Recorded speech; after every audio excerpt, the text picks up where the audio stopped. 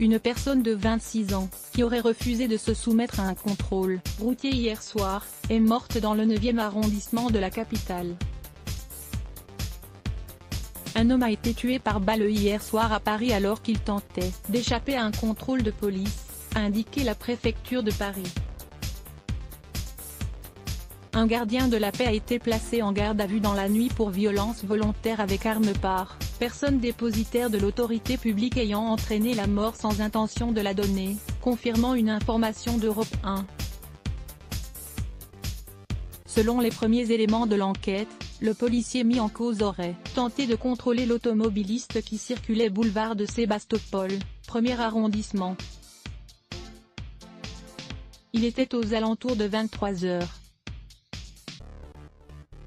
Refusant d'obtempérer, l'individu au volant aurait alors pris la fuite. Le policier est monté à l'arrière du scooter d'un particulier pour prendre en chasse l'automobiliste, d'après l'AFP.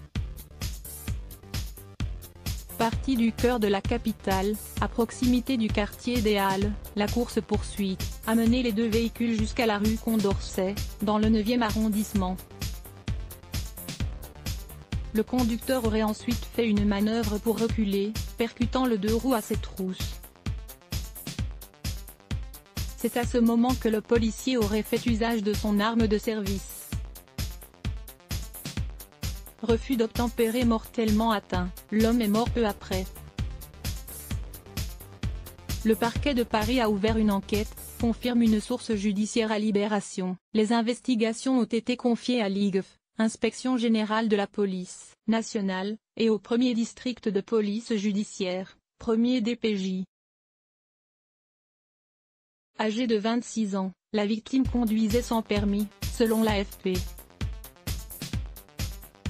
L'homme faisait l'objet depuis février d'une procédure pour conduite malgré une annulation de permis, et refus d'obtempérer exposant autrui à un risque de mort ou d'infirmité. D'après une source proche de l'enquête, citée par l'AFP, le fuyard a pris tous les risques, y compris des rues en sens inverse et s'est finalement retrouvé bloqué. Le policier est alors descendu et,